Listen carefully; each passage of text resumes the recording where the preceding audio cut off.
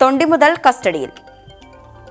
കൊച്ചിയിൽ നടി ലീന മരിയ പോളിന്റെ ബ്യൂട്ടി പാർലറിന് നേരെ വെടിവെക്കാൻ ഉപയോഗിച്ച തോക്കിന്റെ ദൃശ്യങ്ങൾ പുറത്ത്. കൊട്ടേഷൻ സംഘത്തിന് തോക്ക് എത്തിച്ചു കൊടുത്തത് രവി പൂജാരിയുടെ സംഘത്തിലുള്ളവർ. വെടിയുതിർത്തവർക്ക് തോക്ക് ഉപയോഗിക്കാൻ അറിയില്ലായിരുന്നുവെന്നും കണ്ടെത്തൽ.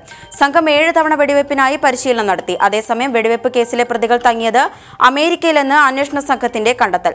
തോക്കുകൾ കണ്ടെടുത്തത് അറസ്റ്റിലായ ബിലാലിന്റെ കയ്യിൽ നിന്ന്. വൈരാഗ്യമുണ്ടായിരുന്ന യുവാവിനെയും തോക്ക് കാട്ടി ഭീഷണിപ്പെടുത്തി. രണ്ട് തവണയായിരുന്നു പാർലറിലേക്ക് പ്രതികൾ വെടിവെപ്പ് നടത്തിയത്.